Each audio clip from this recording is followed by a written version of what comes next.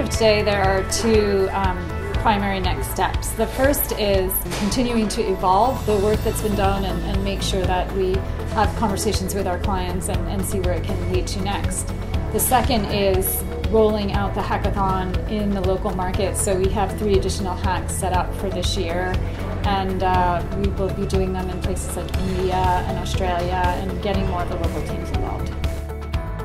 2018 today is all about driving DAN's data strategy and ensuring that we can help you solve some true business challenges with our tech and tools and people and resource and that's our commitment to the joint business partnership that we've got that's going from strength to strength for DAN in the region.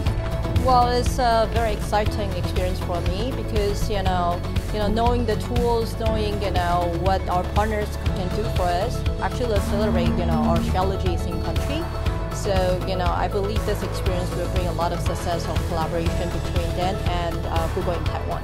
It's a great session today to have a leadership team exposed to a session like this. Uh, I think this would be the new way of working, where we bring people with the right skills, working, coming together not working in silos. It's Getting to work together with the Google engineers for a day uh, and being together in the same room was a really fun experience and a lot to learn as well.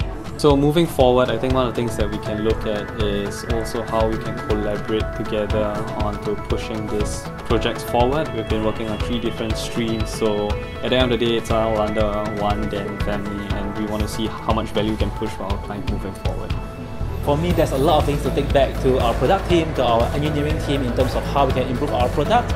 And working with, with, with them in this span of few weeks and together in these few hours really kind of like allows me to understand the kind of work that, that, that, that they're doing. And I really look forward to work closely with them in the next uh, quarter, next year, etc.